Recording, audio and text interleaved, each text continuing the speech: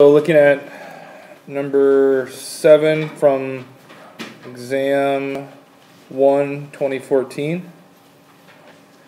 Um, it asks you to rank the molecules from least, from most reactive being one to least reactive five towards electrophilic aromatic substitution.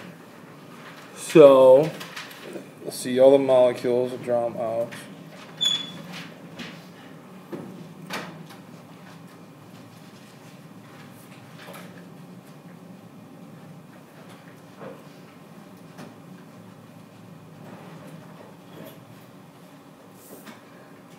Benzene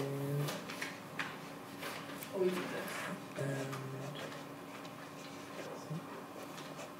okay. So I want you to rank from most reactive. So most reactive is one, and least will be five towards electrophilic aromatic substitution. So what are we basically looking at here? We need to look at the subs- activators and deactivators, right? What is each group on there? All right. So chlorine is a deactivator. Good. This kind of ester looking thing, what's that? Gonna be an activator or deactivator? It's gonna be an activator, right? The lone pairs on this oxygen are next to the benzene ring, so it's gonna be an activator. The phenol with the OH, what's that gonna be? Activator. Benzene's kind of just neutral. Then an isopropyl group like this is gonna be an activator or deactivator. All right. So now the question is, right? We have to essentially to rank these towards electrophilic aromatic substitution. So we're really looking at how electron rich each one of these is making the benzene ring, right? Last one an activator because it's hydrogen. Last ones, those are that's hyperconjugation. That's why it's an activator. But if there is another methyl off it, it'd be a deactivator. Nope, it still be it still would be an activator, right? It's all about the sig- it's all about hyperconjugation there. So it's not about benzylic H's or anything. It's just if there's sigma bonds off here or just bonds off here, they're just carbons, then it's hyperconjugation. That's helping to stabilize it. Right, so it's an activator. So the least so usually when I do these problems, I like to try to box it in, right? Either find the on either ends of the spectrum, right? So which one's gonna be the least reactive, which one's gonna be the most reactive. So which one here should be the least reactive? That should be the easiest one to find. Yeah. The deactivator, the chlorine, right? So that'll be five. Right? now, if- if we find the mo which one do you think was the most reactive? The benzene's not. Uh, nope. So the question is, I would look for, right, lone pairs again uh, next to the ring is always going to donate electron density unless it's a halogen.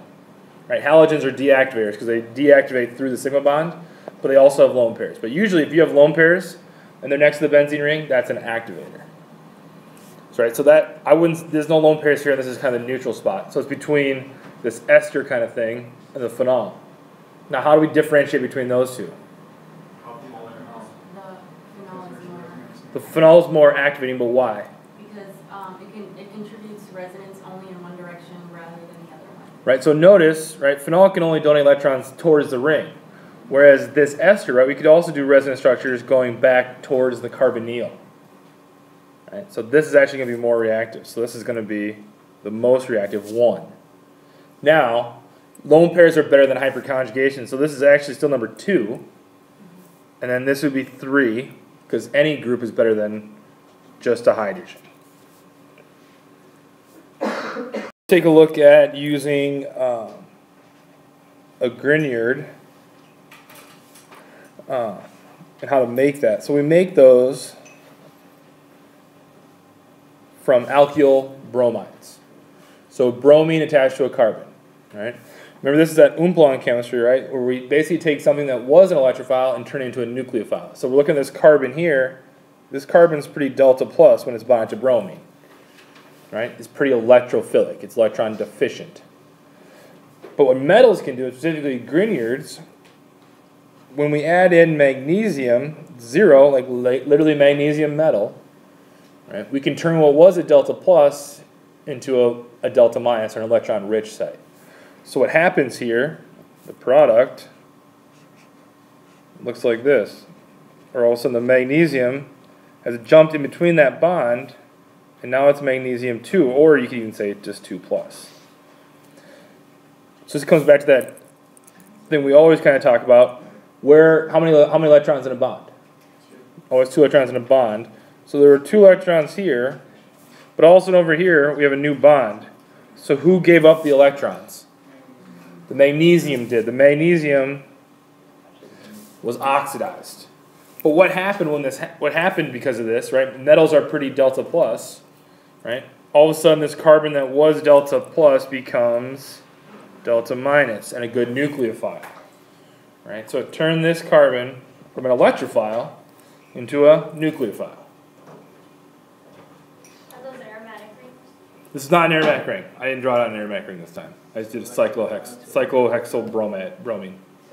That's all you want us to know about this not? It, it could be bromine could be attached to lots of different things. It doesn't matter where the bromine is attached. Just attach to a carbon. Yep, you're going to go from an electrophile to a nucleophile. The magnesium is the one that gives up those electrons. Yeah. there a mechanism we can go for this, or can just draw this? You can just draw this. I mean, if you wanted, we could we could think of the mechanism. I could show it to you. Right? It's pretty easy to think about. It's a fish hook kind of thing. It's not too complicated, but just have it jump in there and lose two electrons. Right? So now this is nice because now we've created a carbon nucleophile, and we've talked about ways to use nucleophiles in substitution reactions. Right? So an example could be, we could take this alkyl bromide and now react it with the new Grignard reagent we just made.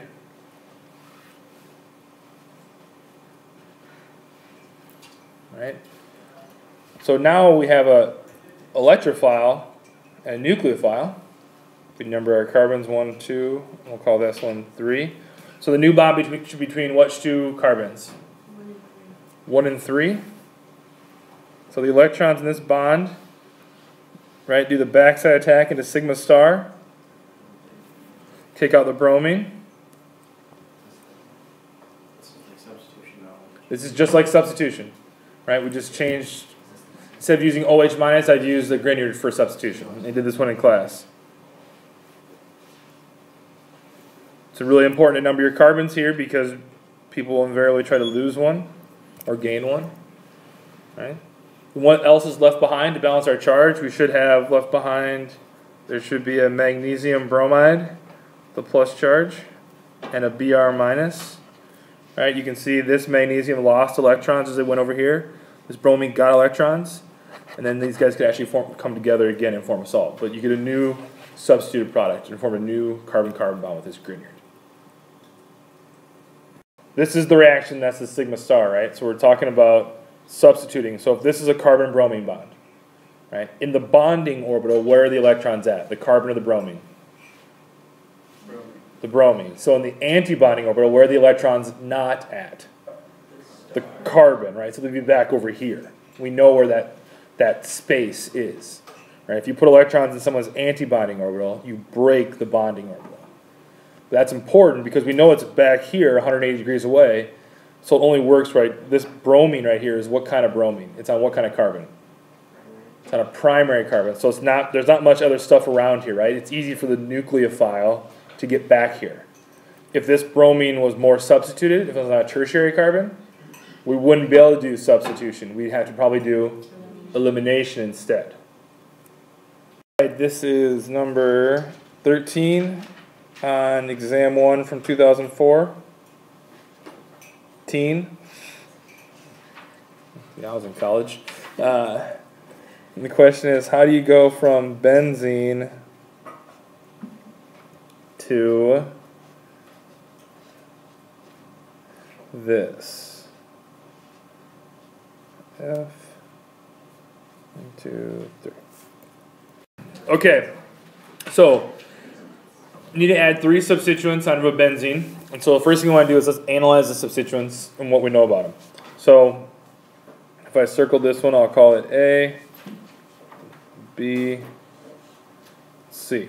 Okay, so for A, we know it's an activator, hopefully, right? And all activators direct where? Ortho and para. Now, what else could we perceive from this? We should be able to take even more of a, a jump here. So we're making a carbon-carbon bond onto a benzene ring. We only know two ways to do that, right? Either Friedel-Crafts alkylation or Friedel-Crafts acylation. This can only work one way.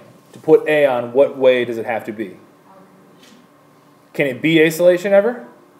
No. So we know it has to come on by alkylation. Right? So it came on by, right, we know it had to be FC alkylation. Right? We know that's the only way it could have got on. What about B? Activator or deactivator? Deactivator. Which way does it direct? Ortho and para, right? Fluorine still has lone pairs, so it's still directing ortho and para, but it's overall a deactivator. How many ways do you know how to put fluorine on? Just one, and how'd you have to do that? Um, first, you make the diazonium salt, and then you hydroborate. Re- not hydro, no, so you, you go through this, so you have to go through the diazonium salt, and then you used to use an F minus, oh. right? So we got we know we're gonna have to go through something like this, right? Yeah, I'm not asking you to know, right? I want you to know those six ways, and I'm not asking you to know those specific reagents.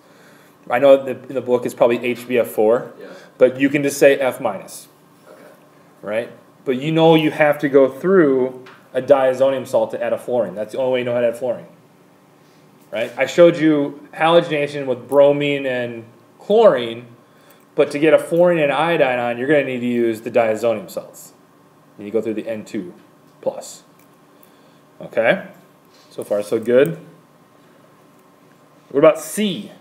So C is an activator or deactivator? And all activators direct orthopara. Now again, it's carbon-carbon bond. We only know how to make two ways to make carbon-carbon bonds on benzene rings.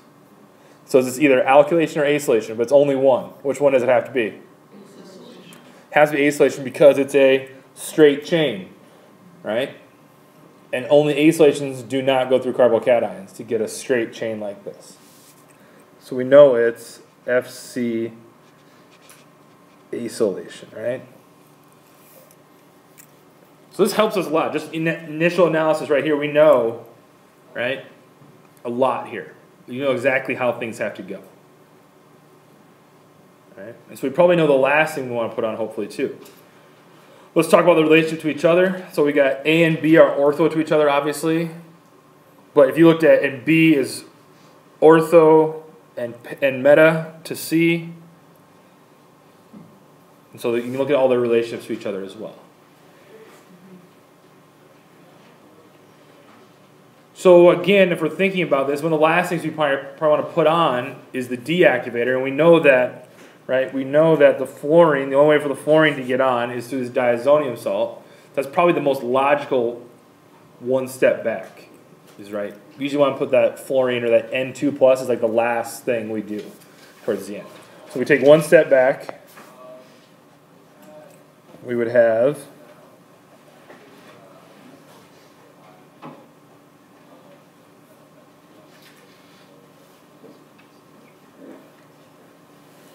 right? Back to the diazonium salt.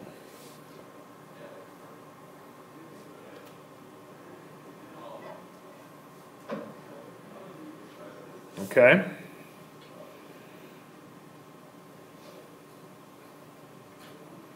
And one step back from the diazonium salt will be what? The NH2.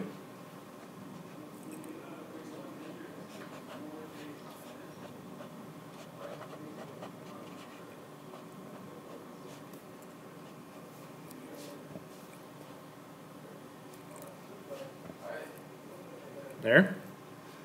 Now we have some choices to make. What we can think about. Well, where does the NH2 come from? NO2. Well, we could so we could either so this is the this is the point I was trying to make. So if I do it a different way that's on then it's on the key. Let me see the key again the way I did it. So this there's always these problems. There is and there can be more than one way to do this. So maybe I'll show you a different way than on the key here. Everybody's okay. There's more this would be just as fine as the other one. All right. Okay. So one step back, I'm actually in the key. I said I'm going to make NO2, but I'm, instead I'm going to take advantage of the fact that NH2 can do is a an activating group. Let's do a acylation or alkylation. All right, let's put an al- let's do an al- acyl- alkylation at this point. So let's say one step back would be, right, and which alkyl group should I take off? A or A or C? Which one makes the most sense? A or C? Has to be A because what kind of NH2 now is an activator and it directs ortho and para. And A is ortho to it, whereas C is meta. So it makes more sense to take off A.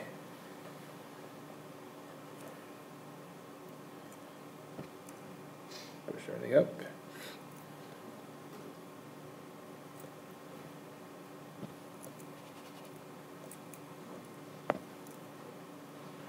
There we are. Now, one step back from this would be NO2. That. Now, these two things are meta to each other, right? So, which one, right now, this is an activator. This is a deactivator. But was this always a activator? No. And we know NO2 is probably not something you want to use to direct something, right? It's pretty deactivating. So we take one step back. That could have came from, Why is NO2 deactivated? what's this Lewis dot structure look like? Draw Lewis, so the Lewis dot structure for NO2 is a plus charge on the nitrogen, yep.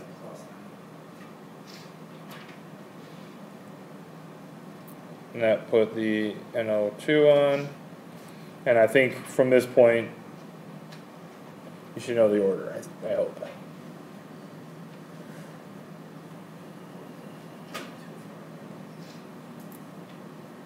So you put the acylation first, then you put the NO2 on.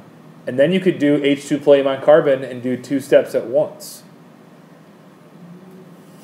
Right? You could do H2 palladium on carbon, which is at this point, right? If I use H2 palladium on carbon, I would reduce this and reduce this, and I'd go right to here.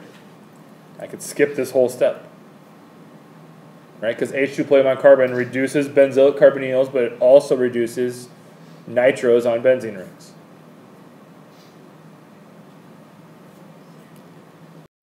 All right, so if we're looking at the forward direction, the first step is going to be a Friedel-Crafts acylation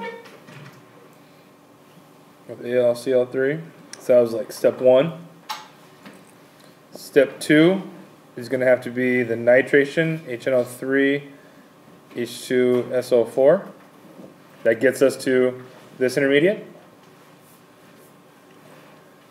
Now we know there's how many ways to reduce benzoic carbonyls? Three, right? But we can take advantage of one of them and skip right ahead to here if we just use H2 palladium on carbon because that, right, will reduce, oops, not chlorine, carbon. That will reduce benzoic carbonyls and it will also reduce the NO2. And I think zinc HCl, will, Clemmensen will also do this, right? It will get a two for one here.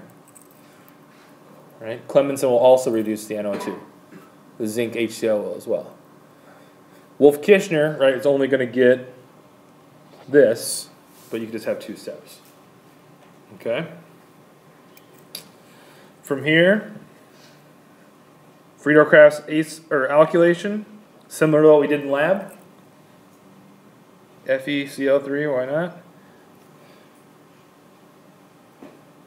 Now this could be a problem, right? People could say, I don't know, this is this is pretty big. It could go para too, but maybe this is know, you're comparing the NH2 versus alkyl group is probably going to go ortho, right? And some of this stuff, I'll give you the benefit of the doubt, right? So if I'm telling you to make this, I'm not I'm not telling you to make something that's impossible, right? So if you have to take some liberties and say, hey, I might also get some of the product here, it's okay. I'll pretend that we get it, you can get it to work on paper. Okay? Then at that point, what do we need to do? I'm looping back around here. We need Na, NO2, HCl. Right, that turns the NH2 into the N2 plus. And then the final step is essentially just adding in, you can just even just write F minus. Just switch it out. All right, let's look at an acid base question that says, wants us to rank the order of acid- acidity for these molecules. So, draw these. They're phenol derivatives. They're all OHs.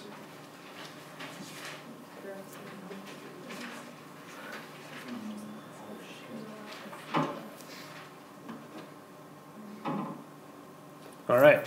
So they're all phenols, and they all and two of them have nitriles on them. All right, and so to rank the acidity. So least acidic to most acidic. So again, what are we talking about when we say acidity? What specifically are we talking about in this case? Which bond? The polar bonds to hydrogen. In this case, specifically, which one? The OH bond in all of these. So we want the H to be as delta plus as possible, right? So we want to pull away electron density from it. So the question is, which one of these does that most efficiently? Right, so let's look at, so what's the same? The OH is all the same on all of them, so that's nothing different. This, this is just phenol. It has no other substituents. So is it going to be, is it going to have, so there's nothing else going on there. And these two have nitrile. So what is nitrile? Is nitrile an electron withdrawing or electron donating group? It's an electron withdrawing group, right? This carbon is pretty delta plus, right? It's triple bonded to nitrogen. So, do electron withdrawing groups make something a better acid if it's on the ring or make it a worse acid? Makes it more reactive, right? Because it's pulling, like electron withdrawing groups pull away electrons through the bonds, right? So the least acidic, for sure, is going to be which one? If I labeled these A, B, and C, right? The least acidic is for sure A. Easy. Okay. How are we going to differentiate between B and C? We're going to have to do some resonance structures, right? And so what we talked about, right? Usually, in any well, not usually, in any reaction, either we have reactive starting materials and or stable products. So in this case, one of these nitriles is going to have a larger effect than the other because this one's meta to the OH and this one's para. You should be able to see that by resonance structures. Right? So essentially the question is which one of these, their, where they're located, is going to have more resonance structures that affect that OH. So if we draw lone pairs on the oxygen, obviously there's two, but we draw one. If we can push those electrons all the way towards that nitrile and get the, and move the electrons in the nitrile, that's going to be what's that going to do to the OH bond? It's going to make it much more polar, right, in a weaker bond. Right, so let's try. So if I start moving electrons here, move those there, move these here, let's see what I got.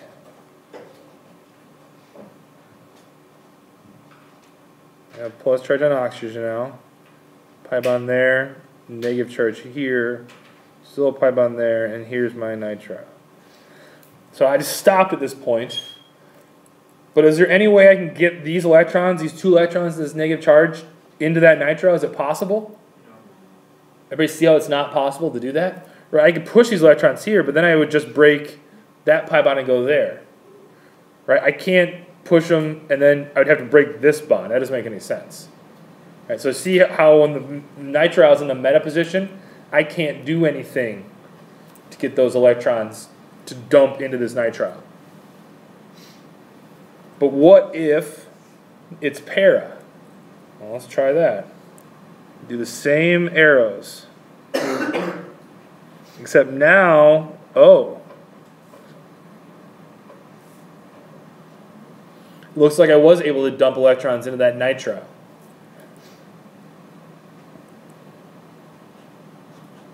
see what this looks like.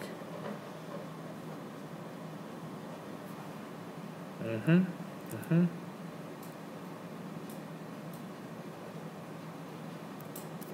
There we go. So there's two resonance structures. Which resonance structure do you like better? The one from B or the one from C? Why do you like the one from C better? Say it again. N's more electronegative, and in C, what? N has a negative charge. Right? So this is a this is a more likely resonance structure than this one. And what does this resonance structure show us? So if this is a resonance structure is likely, in this resonance structure, what happens to the H? All of a sudden this bond becomes much more much weaker because there's right electrons have been pulled away more efficiently. So that makes this more acidic because of the resonance form. Right?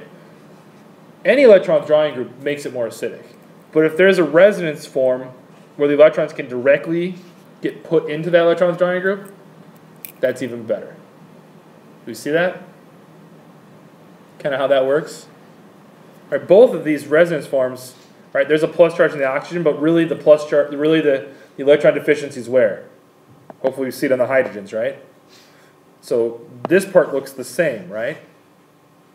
So then we say, well, what's different now again, right? Just like we asked that question up here. We said, well, these two have electron withdrawing groups, this one doesn't, so this one's not going to be as acidic. So now we look at these, well, these are the same, but one's meta, one's para. So we do a resonance structure, and we say, well, this is the same. Both of these look like this is going to make this really acidic. So then we say, well, which one of these resonance structures is more likely to happen? And that comes down to, right, chapter 1, electronegativity. A carbon with a negative charge or a nitrogen with a negative charge? Which one are you guys cooler with? Nitrogen. The nitrogen. Is it always going to be para? Para and ortho will always do this. But you know, I'm not going to ask that, right? That's why I haven't said it yet. Well, I did now, didn't I? But we've discovered this now without having me just to tell you, right? So it's not just enough to know, I want you to prove it to me. Right? Just like I, I have to prove it to you. All right, so that's a good point. This is really important. Let's look at let's let's go ahead and number carbons here. One, two, three, four, five, six, and I'll call this one seven. So why can't in B these electrons get to seven? But first, right? You have to be right next to each other, right? When I did this first, when I first moved electrons from here, right? These electrons went right there. I can't skip over, right? So if, even if I move these electrons here, the only place I can move these electrons are either between four and three, or between five and four. That's the only place I can move them. But if you look at carbon three, how many bonds does carbon three have right now? It's four. So if I move electrons towards carbon 3, what do I need to do? I better break a bond. So either I can move electrons in the pi bond to 2, or I could just break 3 and 7 and kick that out. Right? See, I can't get to 7 from 4. Not in one step. Right? 3 already has 4 bonds. Just like 5 already has 4 bonds. Does that do you see that now? Right? I could, I could push these electrons here, but then I would have to kick out, to break 3 and 7. Yeah, so you have the potential to kick out that one. so that- Yeah, I could. Mm. But that wouldn't be, that's not going to make me more acidic, right? Because now I just made CN minus. So that's not good. You don't want to do that either. So that's not, well, it certainly leads to the fact that I won't be more acidic. Okay. Yeah. Makes sense? That's a hard one to see. This is like the classic one people, because people, I challenge you to try to draw it yourself. Prove it to yourself. Because people will look at this and be like, okay. And then they'll get the test and we'll have even if I move the electrons between right, so think about this. If I move the electrons between four and three and kicked out that Cn minus, what's that going to look like? It'll look right. So I'm, I'm going to do it. But this is bad. Just but I'm doing it. So if I move those electrons there, and I break that, what's this going to look like? It's going to look weird. Right, I didn't do anything wrong with my electrons, right? And what do I, I always want to balance my charge. So let's draw the part we know.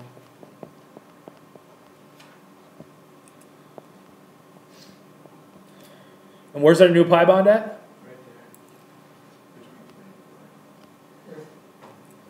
Right and then we have this with the minus, right, to balance our charge. Our carbon one, two, three, four, five, six, and seven. If you look between two, three, and four, is that so? What would the hybridization state of three be right now? How many pi bonds does three have? SP. What's the bond angle for an SP hybridized carbon? 180. In a six-membered ring. Think we could build that one? Probably not going to work, right? So, right, another reason, right? But this is good. You draw that out, you're like, oh my god, what have I done? And then you realize, okay, right, it can't go that way. So hopefully we see that that's bad news. Right? But until you draw it, you don't realize really how bad that looks. Right? Okay. So let's do a sigma complex question, trying to decide, right, instead of using resonance structures to decide where something directs, let's use sigma complexes to verify where something directs, right? So we've done it two ways, right? We can look at the starting materials, do some resonance structures, and say, okay, this carbon's electron rich. It's going to be the nucleophile. It's going to add, electrophiles are going to add an ortho. Now let's do a sigma complex and say, okay, we've already added it. Can we make really stable sigma complexes? This comes back to exactly what we did in lab, right? You calculated three different possible sigma complexes and saw which one had the lowest energy of formation, right? So same idea. So in this case, I'll make it a little clearer. Let's go with, let's go with anisole. All right. And let's have some options here. Let's add, we'll add E plus. E plus. And the top one we'll do, you want to do ortho or para? Ortho. Ortho it is. And then the other one we're going to add meta. Now, you should know the answer going into this, which one's going to be better. You just need to prove it. Right? So anisole, this ether, is this an activator or deactivator? Activator. is always direct where? Ortho para. So you know that ortho is going to be better. You don't know if it's going to. You're not. You're not sure if it has a fourth sigma complex, but actually you should be sure because if it has lone pairs, you're going to be able to make the fourth sigma complex if you add things ortho and para. Right. So if it has lone pairs, and you add things ortho and para, you can get the fourth sigma complex. Right. So that's the. That's how you know things want to add ortho and para with electron donating groups. Right. So you know this should work out better for you. So you see the lone pairs, you know it's an activator, right? You know it wants to go ortho and para, right? You should get a fourth sigma complex. But you're going to draw the meta ones out just as, as well to prove, to prove to yourself that they're not as good as well. All right, so let's go through this. So if I number the carbons, let's just number them 1 and 2 here. So for the top one, the electrophile is going to go on which carbon? What's the meta position here? Oh, ortho, so it should go where? Carbon 1. And the plus charge goes on carbon 2. That's our first sigma complex. Move the pi bond.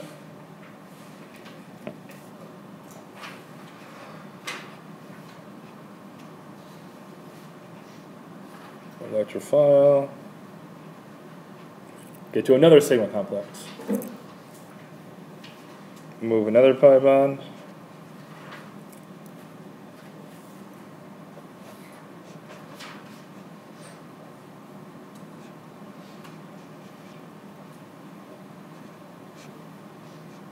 Get to another sigma complex. But now, the plus charge is right next to that lone pair that's on the oxygen, right? So then these electrons can go down there.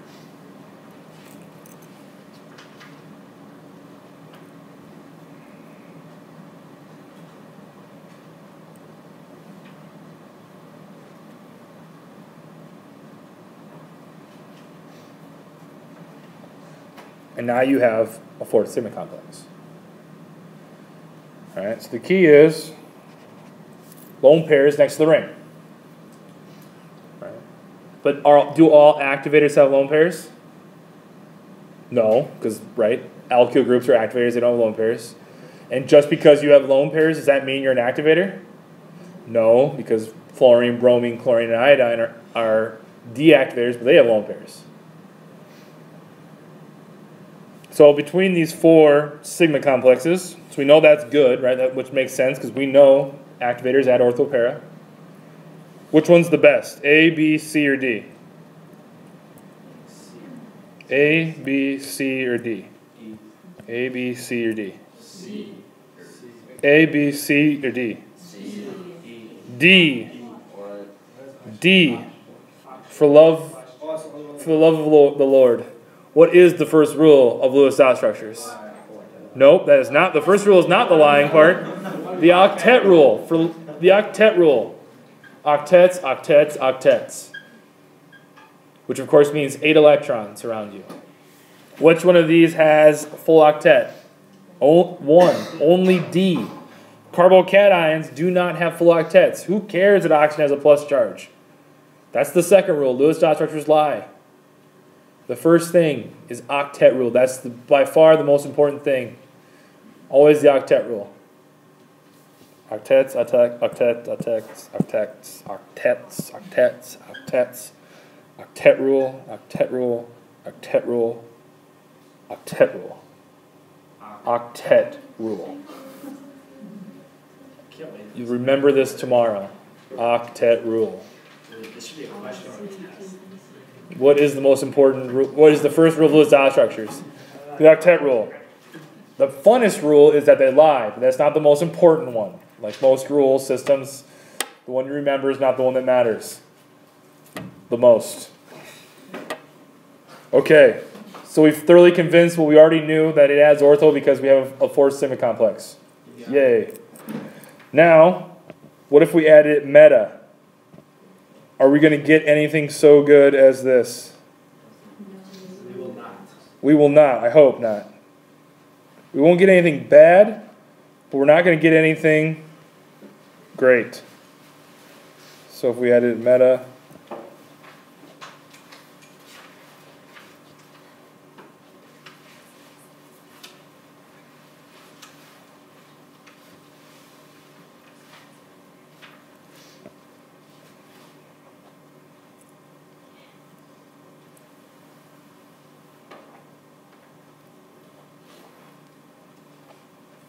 don't think I can draw anymore. So it's only three. None of them have full octets. Why would you add meta if you can add ortho and get a fourth sigma complex that's super stable with full octets? So you won't. So the sigma complexes also show us that activators would rather go ortho and para. So do the resonance forms, right? But be careful, sigma complexes are resonances, resonance forms of the intermediates. If I ask for the resonance form of the star material, that's different. That's different than the sigma complexes. Okay, let's say we're going to try to compare. We'll do we'll do a couple things. We'll do the same starting material.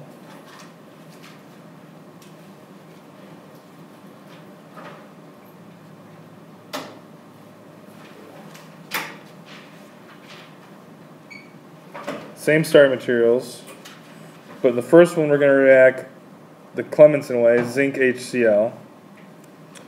And then in the other way, we'll do the Wolff-Kishner. We'll do. Oops.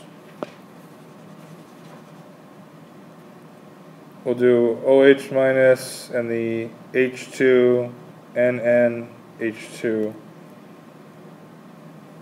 I'm gonna add another carbon there. So in the top one, right, zinc HCl, we know for and for both these cases, if I draw this one in, we're going to reduce the benzoic carbonate. That's going to happen.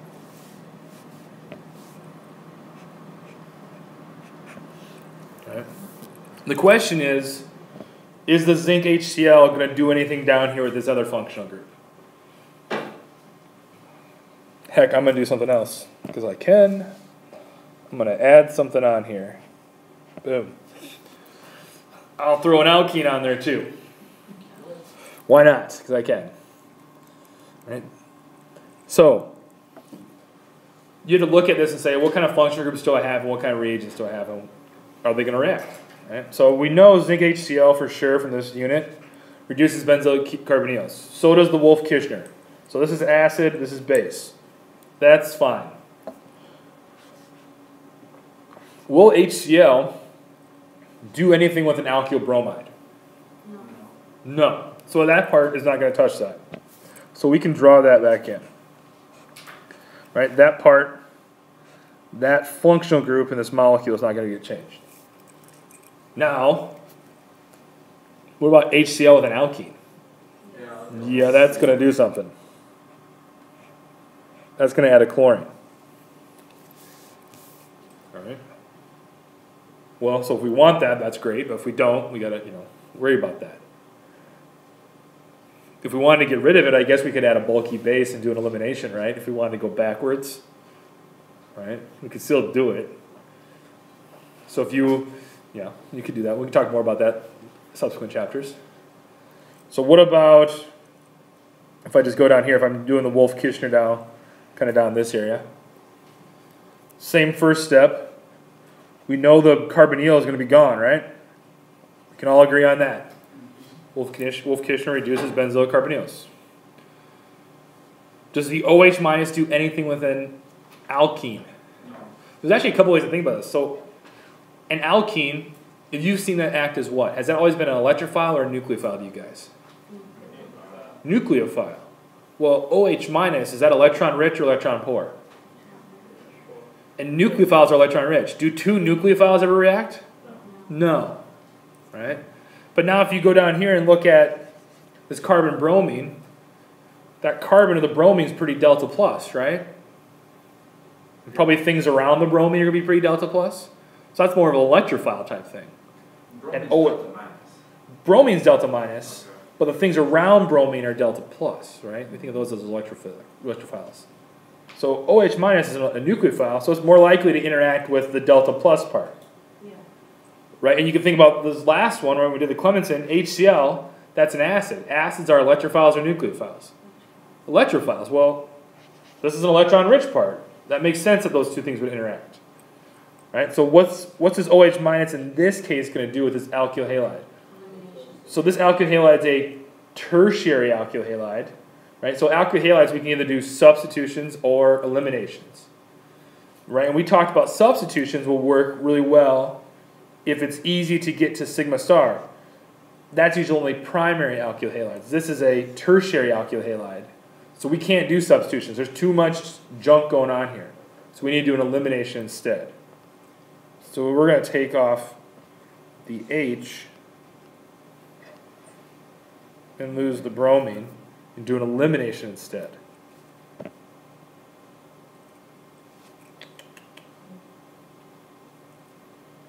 So the pi bonds staying put, nothing's changing there.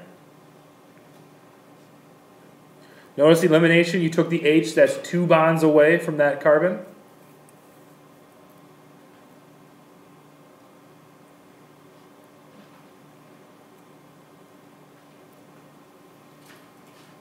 We also made Br and water. Alright, so because it's a tertiary alkyl halide, we'll do an elimination. Primary, we would primary alkyl halide, we would have done a substitution. Secondary? Secondary is a mess. We, there's more factors we have to take into account than what's secondary. Don't worry about secondary. Don't worry about secondary yet. Nope, don't worry about it. Yes. Next next unit, we're going to be worrying about that.